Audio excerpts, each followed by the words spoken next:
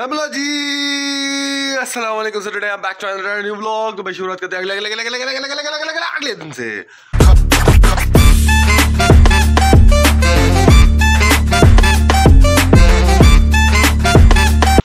तो भाई जैसे कि आप लोग जानते हैं कि मम्मा पापा गए थे। आप लोग तो नहीं जानते सॉरी मैं आपको बता रहा हूँ कि मम्मा पापा गए थे शिकारपुर तो उनकी, मेरे कज़न की यहाँ शादी थी। तो उनको वहाँ मस्त जाना था। तो मैं यहाँ पे घर पे अकेला, क्योंकि नौशहरों में चोरी चक्की बहुत बढ़ गई है, क्योंकि पुलिस की सिक्योरिटी यहाँ पे नौशहरों में होती नहीं अवेलेबल तो भाई, हमें अपने घर में ही रहना पड़ता है जस्ट बिकॉज़ ऑफ़ चोर बंदे। तो भाई, अभी अभी हम नींद से उठे थे, बस अब फ्रेश होके जाएँगे। आज है मामा शेरू का चालिया, जहाँ वो हमारे बाबा के मतलब मेरी दादी के कज़न्स थे तो उनसे हमारी रिश्तेदारी बहुत क्लोज की है।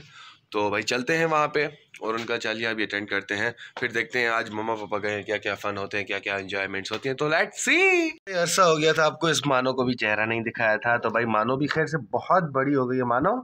से हेलो हेलो मानो हमारी बहुत बड़ी हो गई है, खैर से छः महीने की पूरी कंप्लीट हो गई है। और इसका फ़ूड पड़ा हुआ है, बहुत ही मैंने इसको दिया था, अब ये पूरा खा लिया इसने। थोड़ा बचा हुआ है।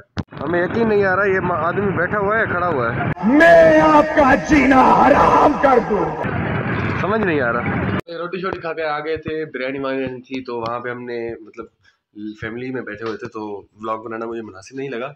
तो भाई जैसे हमने बिरयानी शरानी खाकर आ गए तो माइकल भाई भी आ गया था तो हमने चाय वगैरह पी ली थी। तो भाई आप थोड़ा रेस्ट करते हैं फिर देखते हैं कि आजान वाले आते हैं कि फिर देखते हैं कल क्या करते हैं। भाई रात को कोई नहीं था तो हमने दो मिनट वाली मैगी बना ली थी।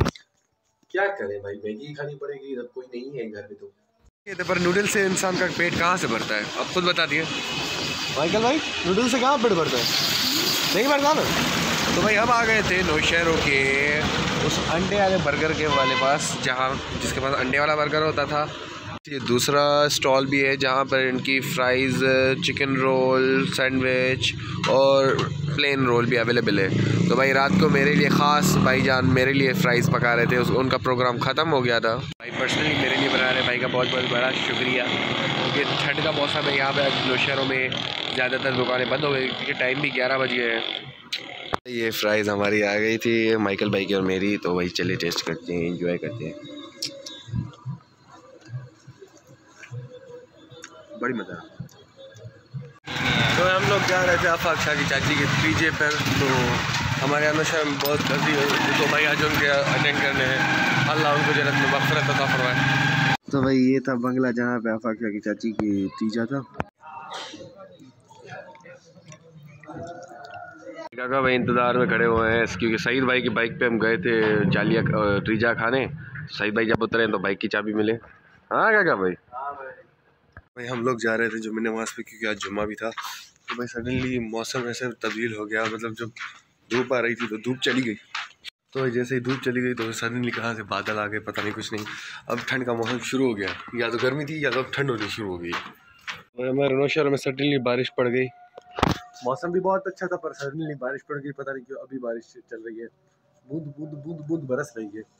अभी नॉर्मल मौसम हो गया था, अब देखना ठंडक पड़ेगी। अब फिर से ठंडक उठेगी। तो भाई वेलकम करते हैं आपको अगले अगले दिन में मतलब दूसरे दिन में। तो भाई, अभी तक रात की बरसात अभी भी जारी है। पता नहीं ऐसा मौसम कहाँ से आ गया। मतलब सडनली दिन गुजर गए, जज्बात बदल दिए, ज़िंदगी बदल दी, फिर बरसात ही बरसात ही हो गए। तो भाई, ये मौसम तो नहीं था बरसात का, पर अल्लाह का हुक्म से बरसात अभी भी बरस रही है आप देख सकते हैं। और सुबह का कोई भी सूरज वूरज यहाँ पे नहीं निकला था तो मम्मा पापा अभी भी शिकार पर है और हमने सुबह सुबह अंडा पराठा खा लिया था, हमने खुद बना लिया था, नींद से उठा था, इसलिए मैं ब्लॉग नहीं दिखा सका वरना मैं ज़रूर ब्लॉग दिखा था। तो भाई, देखते हैं आगे क्या करते हैं।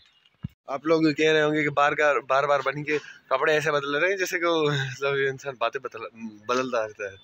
तो भाई, ये देख सकते हैं हमारे नौशहरों में मौसम बड़ा ही मैक्सी मौसम लगा पड़ा हुआ है, अल्लाह की कसम। और यहाँ पे ठंडी ठंडी हवाएँ चल रही हैं, इतनी ठंडी हवाएँ चल रही हैं। मतलब इतनी सर्दी नहीं लग रही, मैंने तो ये कोट ऐसे ही पहना है, पर मतलब मज़ा मिल रहा है, ज़िंदगी बस कहती है कि यही लाइफ हो और ऐसी ऐसी ठंडी ठंडी हवाएँ हो। मैं आपको एक व्यू दिखा देता हूँ, देख लें। इतना प्यारा समा, इतना प्यारा मौसम, दिल ही नहीं कर रहा। ये बात है, इस मौसम में एक साथ हो, जो अपनी हो और एक चाय का कप हो, और कुछ नहीं चाहिए ज़िंदगी को। जैसे अम्मी अबू घर पे नहीं होते तो कैसे कैसे कैसे, कितने कितने काम करने पड़ते हैं? अब पता चला कि माँ कितनी मेहनत करती है अपनी, अपने बच्चों के लिए, अपने शोहर के लिए। मतलब मैं पाँच बजे सोया था, सिर्फ़ आठ बजे उठा। बल्कि छः बजे सोया था, सिर्फ़ आठ बजे उठा ताकि मैं अपने खाना सही से स्टार्ट कर सकूँ, उसको तैयार कर सकूँ। अब मैंने रोटी भी बना ली, ये आखिर में चाय बन गई है, बस थोड़ी ओवर हीटेड हो रही है। ये ये गर्म पानी मैंने किया था, क्योंकि सडनली मुझे, मैं भूल गया था कि मुझे सुबह रोटी भी खानी है तो वो मेरा आटा फ्रीज़र में रह गया। वो अलग मुझे पाँच दस मिनट इसमें गालने में लगे, पर वो भी मिट्टी जैसा मतलब मुझे ऑयली ऑयली और जो पानी जैसा, ऐसा लग रहा तो भाई खैर से हमने अंडा भी बना लिया और रोटी भी तीन बना ली। देखो, रोटी हमने गोल बनाई है, देखो, अभी तक। तो भाई चले, खाते हैं, फिर देखते हैं आपको, देर से मिलते हैं। भाई लेकर आ गया था तो ये गाजर भाई ने खुद पकाया था। और ये कासिम की मतलब हमारी भाभी ने भेजा था। तो ये रोटी छोटी मैंने खुद बना ली थी। और ये गाग सोनू आया था हैदराबाद से तो ये अपनी बिरयानी लेकर आया था हैदराबाद से। और ये चिकन क्या कहते हैं सो खाली चिकन बूटीस। मलाई बूटी। मलाई बूटी। से अगले दिनों से जो मोमा पापा वाले शिकारपुर से वापस आ गए थे क्योंकि क्या करें वेस्टेज ऑफ़ डेज़ थे। तो मतलब नींद पूरी हो गई खैर से। और कल परसों इलेक्शन है तो इलेक्शन की वीडियो आपको इनशाला इलेक्शन का ब्लॉग कल से या परसों से स्टार्ट करूँगा। तो दो याद रखना लाइक और शेयर सब्सक्राइब ज़रूर करना। मिलता आपको अगले ब्लॉग तक तक लिए, टाटा बाय